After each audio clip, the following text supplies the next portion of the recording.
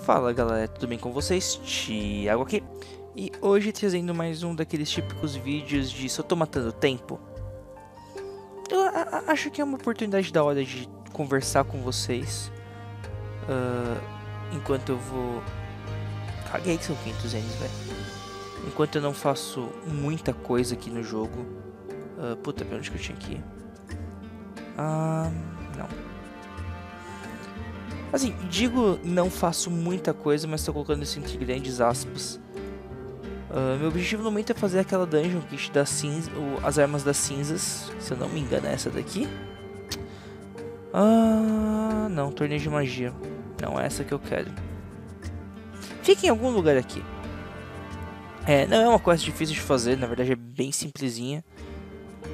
Uh, costumo fazer ela de sicário, que é mega de boa. E aquilo, sem grandes é, pretensões. É, é, é, a típica quest rápida. Sou o primeiro aqui da fila de espera. E bem, minha oportunidade bacana para falar com vocês, de encher o saco, colocar pensamentos em dia.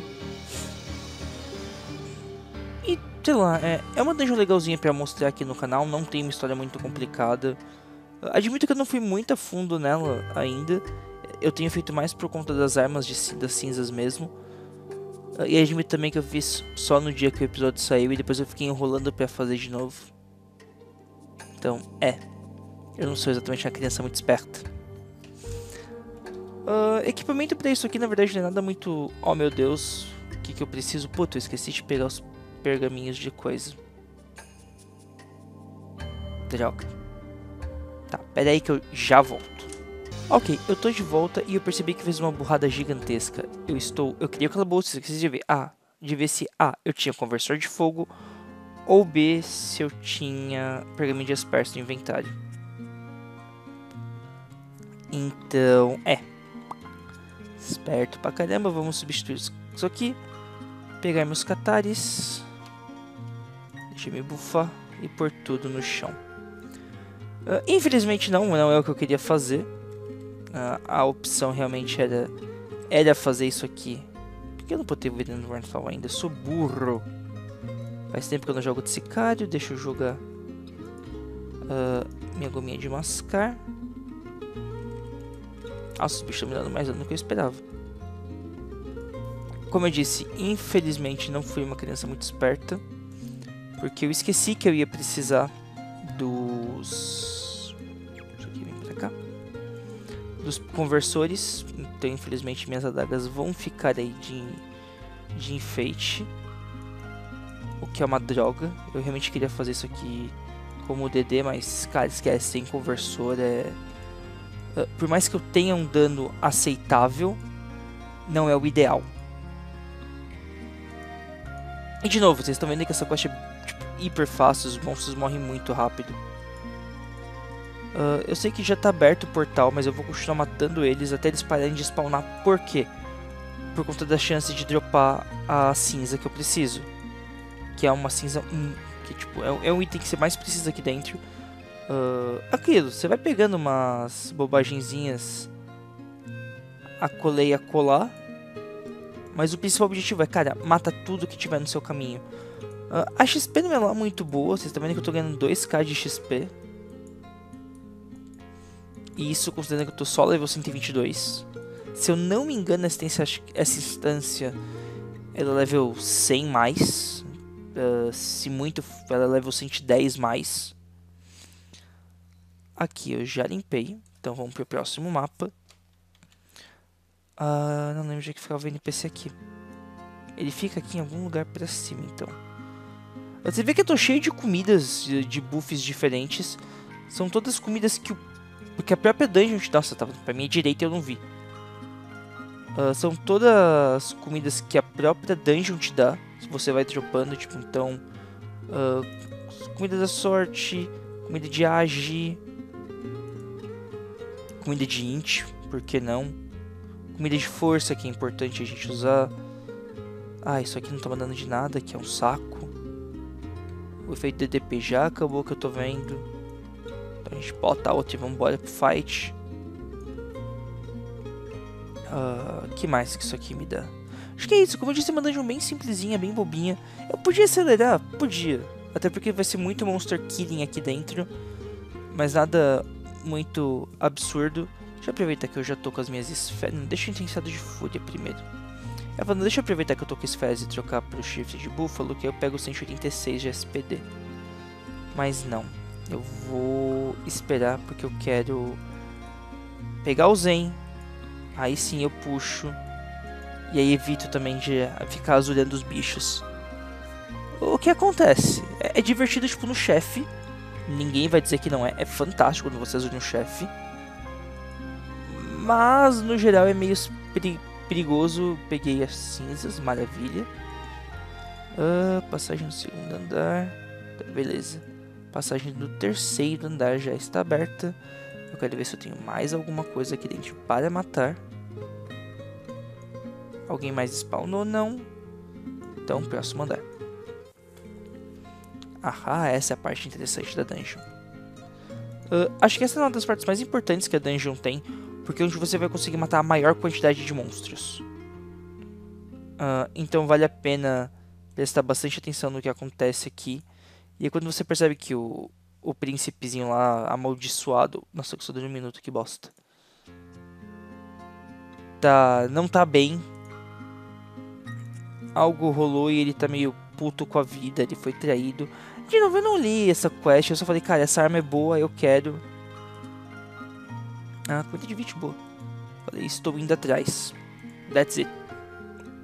De novo, eu não sou exatamente a pessoa mais uh, precisa da história que eu vou mobar. O problema é que são zumbis, então, né? Demora pra eles virem. Uh, mas aqui moba bastante coisa mesmo no pós-quest. Mas chega de enrolar de falar dessa quest chata do caralho. Assim, em bom português, é uma puta quest chata. Pra gente narrando ela. A ideia aqui hoje é falar sobre como tá indo o canal, que honestamente eu tô gostando. É bom poder voltar a fazer esses vídeos e... Como é que eu posso colocar? E azucrinar todo mundo por aqui. É, é realmente bastante divertido voltar a fazer isso.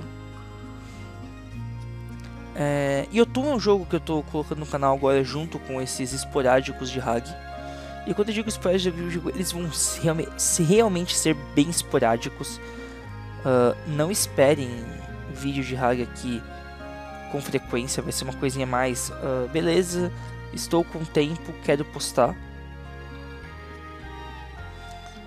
E quem ou não, cara, vídeo de Hag é uma coisa muito. Como é que eu posso dizer? Específica. Ah, agora. Ah, é verdade, eu tinha que matar primeiro os bichos para começar a spawn. É, ironias. Tipo, você tem que matar um monte de bicho pra aí sim começar a spawnar bicho de verdade aqui dentro. Anyway. Uh, me perdi. Me perdi nos seus pensamentos. Eita. Quase que eu rodei. A gente reza pra não ter. Ô, Lere. Veio. Cada vez que esse podcast aparece coisa pra caramba no meu redor. Uh, eu tenho que ficar esperto pra não perder as mágoas. Que já tô vendo uma, uns fragmentos de cinza, aliás. Que já tô vendo aqui em cima. Nossa, já tô vendo um monte pelo chão. Ah, eu tenho pergaminho? Tenho. Então, whatever. Ah, porque esse é o momento que de fato você vai pegar as cinzas na quest. Da outra vez eu acho que eu não peguei tantas, eu acho que eles aumentaram o drop dela. Eu, eu realmente tenho a sensação de que, porra, eh, teve o drop aumentado e isso é bom. Na verdade, isso aí é excelente. Vou usar um chocolatinho para recuperar um pouco do meu SP. Querendo ou não, esse SP desse cara cai meio rápido. Tô morrendo aqui, socorro. Beleza, aqui já era. Ah, continuamos aqui. Eu sei que chega um momento que para de spawnar coisa. O importante é sair daqui só nessa hora. Eu vou ficar sem SP, não vai dar pra montar isso aqui não. Puta, aqui mesmo SP de DP. Droga. Ah, tem mais um fragmento. Beleza. Peguei todos os fragmentos. Ainda tem bicho pra caramba aqui em cima.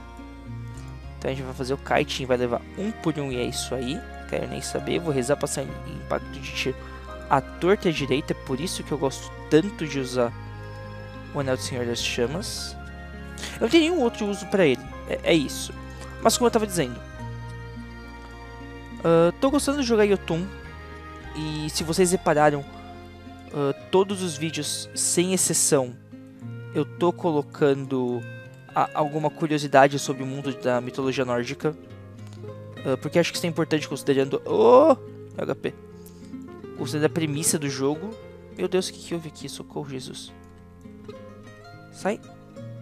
Tá vendo porque eu falei que eu não podia ficar sem SP? Beleza, vamos de doce super açucarado então, que... Na falta de SP isso aqui me resolve já que, né? Caraca, pegou só 187, jurava que eu pegava mais. Eu tinha, tipo, certeza absoluta de que eu pegava muito mais. Mas minha taxa de crítico com compensação tá lá no alto, então não dá pra reclamar. Uh, Yotun é um jogo que, eu, como ele é de mitologia nórdica, eu já quase não gosto. Então eu tenho postado bastante. É o que eu vou estar tá postando mais aqui pelo canal por enquanto, pelo menos eu terminar ele. E todos os. Oh, já deixou um fragmento cinza pra trás todo episódio de Jotun, o plano vai ser sempre colocar uma curiosidade da mitologia nórdica. Sempre. Uh, seja um nome, seja um fato, uh, seja curiosidade aleatória. Não importa, eu quero fazer desse jeito. Então, olhem sempre a descrição do vídeo, sempre vai ter alguma coisinha. Uh, se vocês olharem o segundo episódio agora, o primeiro não teve porque foi, foi o primeiro e eu falei, ah, whatever. O segundo eu já falei sobre Guerra, que foi o primeiro chefe que a gente enfrentou. Aliás, falando em chefe, vem daqui a pouco, né? Calma aí, deixa eu mexer na cafra, eu já volto. Fui pegar as coisinhas pra botar pro SP. Pô, já tô em estado de zen, hein? Isso aí é bom. Agora dá pra botar meu veneninho e... Uh, Guerra é uma das runas do mundo nórdico, então isso é uma coisa que eu não tinha entendido antes. Todos os chefes eles vão ser as runas em si, ou de certa forma o espírito da runa. Uh, se é que eu posso dizer, dizer isso. O que é extremamente interessante. Uh, porque assim, especulando de novo, eu não conheço nada de Yotun, tô jogando com vocês. Cara, significa então que o jogo vai ter pelo menos nove chefes. Afinal de contas, cada um dos reinos uh, da mitologia nórdica é representado por uma runa.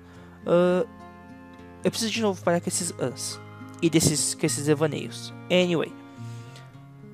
Yera é a runa que representa Rune Midgar, ou Manheim, ou simplesmente o mundo dos homens, que é o mundo em que a gente vive.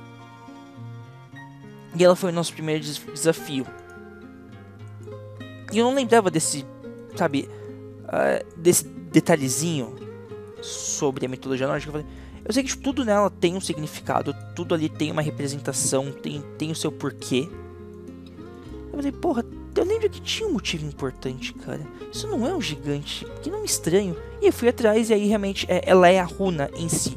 Então minha especulação é, sim, eu vou ter pelo menos uns nove chefes para enfrentar. Enquanto eu jogo Yotun. O que não é algo ruim. Também não é algo meh, quer dizer, dá vida útil pro jogo.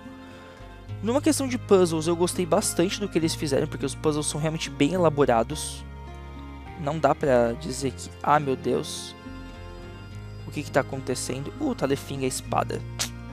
Venha. Angústia torturante.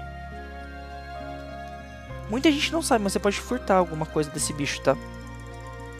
Só que a chance é ínfima. É, não vai, esquece. Um matar e já era. E até porque, meu, acho que não vou nem precisar de outro veneno mortal. É, definitivamente não vou precisar de outro veneno mortal. Pá, peguei minhas cinzas, vitória. Aí a gente desce. Sobre um Kalitzberg perdido aqui no mapa. Só pra dizer que potei. Quinto andar do Palácio das Mágoas. Aonde ficava a passagem é pra baixo essa. Uh, cara, de novo eu preciso parar com esses devaneios. Mas é o que eu tava dizendo, deixa eu botar aquela balinha amarga esperta, porque se não me engano tem mais alguma coisa para enfrentar aqui. Se eu não tiver também, whatever. Não é como se eu fosse morrer por causa disso. Pelo menos já saio com SP cheio. Cadê os caras? Meu, os NPCs se escondem aqui dentro. Aí, achei. Ah, então achei isso bacana. sabe, essa questão do de mostrar a, a mitologia como ela é, sabe, te dar algum enfoque, dar conhecimento pra galera. É, então sim, falei de Era, uh, os próximos vídeos cada um traz uma curiosidadezinha ou relacionada ao mapa que eu estiver fazendo, acho que isso não é um spoiler, ou em algum contexto de eventos que aconteçam ali. Uh, então sempre que eu estiver fazendo eu vou falar, uh, vou tentar complementar com mais informação. Provavelmente vou usar o blog para isso, para ir falar um pouquinho mais, uh, porque cara, o, o, que mais dá para fazer com mitologia nórdica é falar dela, porque ela é riquíssima, ela é cheia de pormenores, então vale pra caramba a pena. Como eu disse, esse vídeo realmente é para falar coisas aleatórias e mostrar bobeira não é como se eu estivesse com muito enfoque. Uh, não vou dizer que ele é pra encher linguiça, porque não é. Ponto. Eu queria mostrar a dungeon e a simplicidade dela, então quem ainda não fez, vale a pena fazer. Quem já fez, sabe que é fácil e sabe que vale a pena ficar fazendo. Aquilo, as armas têm um preço relativamente caro. Mas, uh, vale a pena. A primeira falar de Jotun, que é o, o jogo da vez. E uma coisa que esqueci de mencionar é sobre a frequência do, dos uploads no canal. Cara, uma coisa que eu fiz muito errada, isso foi tipo burrice pra caramba na primeira vez que eu tava com o canal é. Eu tava tentando pôr muita coisa de uma vez. E no fim das contas eu acabava não fazendo nada. Ok, entendi o meu erro em cima disso. Então quer saber? Vou pegar mais leve.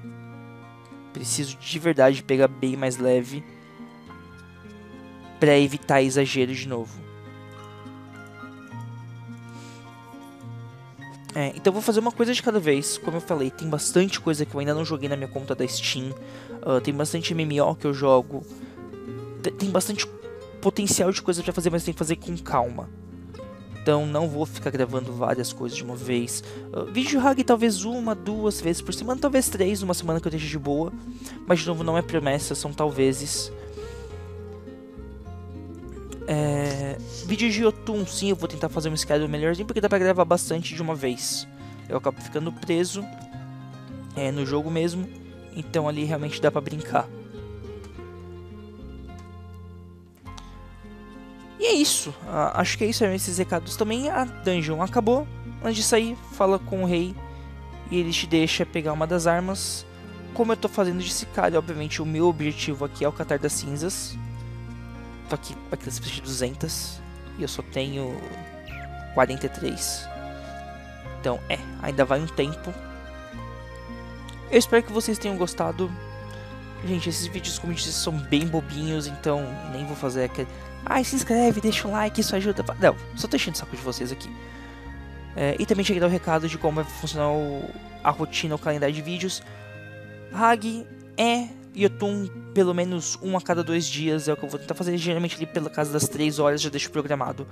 Se não sair na programação, desculpem. Já peço perdão de antemão. Mas vou me esforçar o máximo que eu puder para isso. É isso. Espero que vocês tenham gostado e a gente se vê na próxima. Um abraço para todo mundo. Tchau.